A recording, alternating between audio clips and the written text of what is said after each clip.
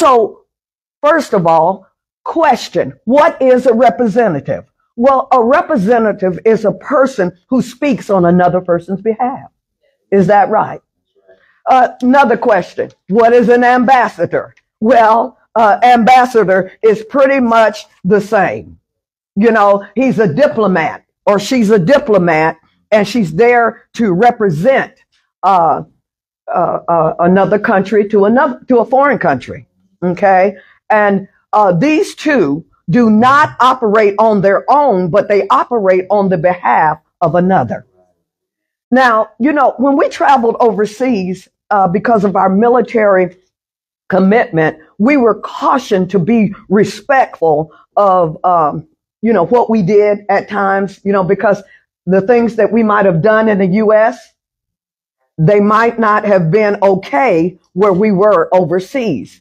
And so uh, we had to remember, though, that we were representatives, you know, of the U- United States of America. And we also had to adapt to the uh, customs of the foreign country. Amen. How many know that wherever you go, you have to adapt Come on, to the place that you're in, to the people that you go to, to, to, to whoever invites you in. You know, it's just like we're here at the Go Center this morning. This is not our house. It belongs to, you know, the Lord, of course, but it belongs to apostles Jeremy, apostle Onisha Goldsmith. Okay. And we have to what? Govern ourselves according to, you know, the way that they have established things here. Are you out there?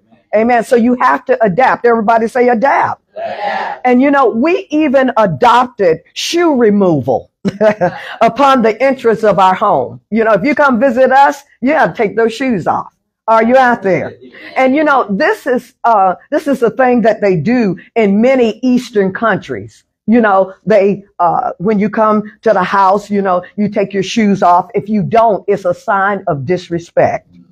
Okay.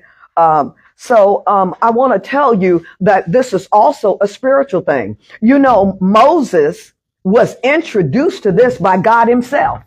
Remember when uh, the burning bush caught his his his sight, you know, and then uh, he turned to see what it was, and you know, I guess he was getting ready to move it forward. He was getting ready to advance, and the Lord, you know, uh, said to him, He said, he said, uh, Moses, Moses.